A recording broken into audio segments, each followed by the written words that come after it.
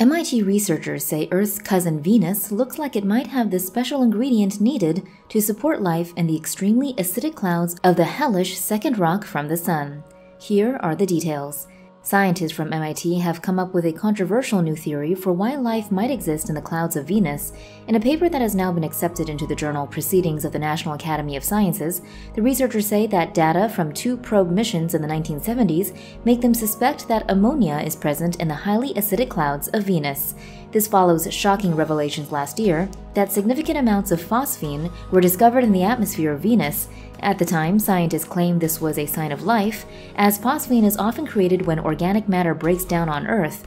Other scientists scoffed at the idea that life forms could exist in the thick, carbon dioxide filled atmosphere as such life forms would also have to be resistant to the extremely acidic droplets of sulfuric acid in the clouds. The MIT researchers now claim that this acid could be neutralized by the ammonia they now suspect could be present in the clouds. Ammonia would set off a long chain of chemical reactions that could turn Venus's clouds into a more hospitable place, they say. The researchers said that life could be making its own environment on Venus. They concluded, Our model therefore predicts that the clouds are more habitable than previously thought and may be inhabited.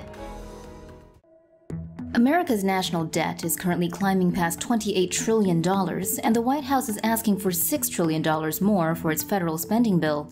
This bill would give NASA a total of $24.8 billion, making it the largest budget request for NASA science ever. NASA says it will use $1 billion to send two missions to check out Venus. Here are the details. The BBC reports that NASA has announced it is sending two new missions to Venus in order to examine the planet's atmosphere and geological features. The missions, which have each been awarded half a billion dollars in funding by the Biden administration, are due to launch between 2028 and 2030. The last probe to visit the planet was the Magellan orbiter in 1990. However, other vessels have made flybys since then. Venus is the second planet from the Sun and the hottest planet in the solar system, with a surface temperature of 500 degrees Celsius, hot enough to melt lead. The Da Vinci Plus mission will measure the planet's atmosphere to gain insight into how it formed and evolved. It will also aim to determine whether Venus ever had an ocean. The second mission, called Veritas, will map the planet's surface to understand its geologic history and investigate how it developed so differently from Earth. It will use a form of radar to chart surface elevations and to find out whether volcanoes and earthquakes are still happening. NASA Administrator Bill Nelson said the missions would offer the chance to investigate a planet we haven't been to in more than 30 years. After studying Mars's atmosphere with its first space probe, the United Arab Emirates now plans to send a second probe to study one hot planet and seven asteroids before landing on an asteroid. Here are the details.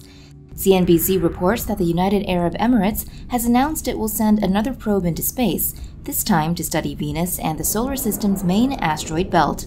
The announcement comes as the Emirates Hope probe is studying Mars's atmosphere from orbit after arriving in Mars orbit in February 2021.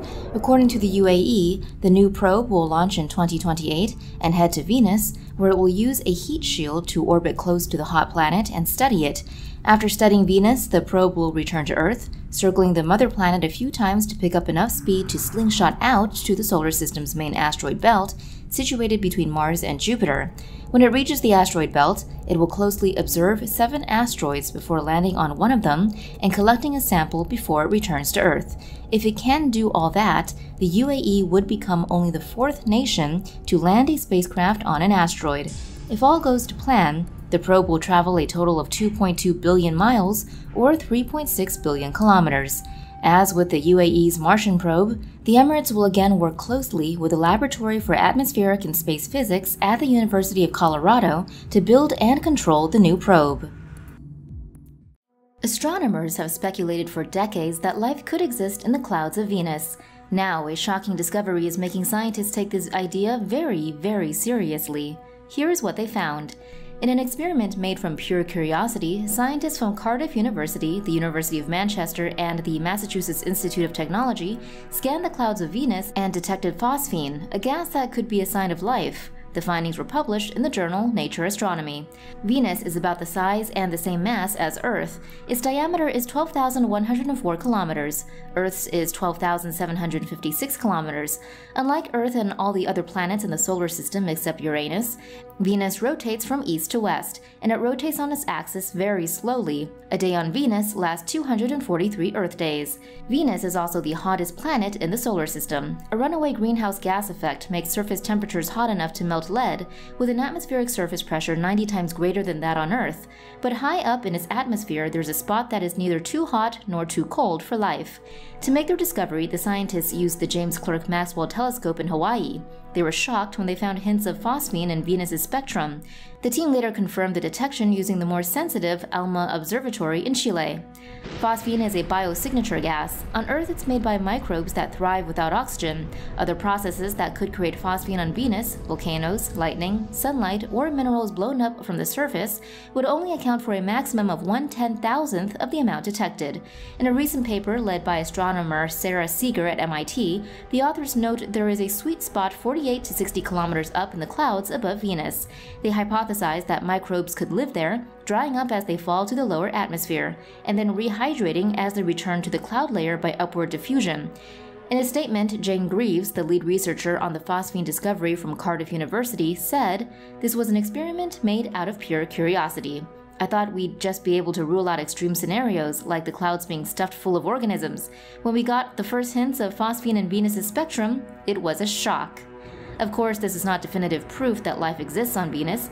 In an opinion piece on CNN, Sarah Seager from MIT wrote her takeaway is that it indicates there is something highly unusual going on to produce phosphine, either some completely unknown chemistry or possibly some kind of microbial type life. For more news animations and explainers, hit the subscribe and bell button to join the Tomo News family. Thanks for watching.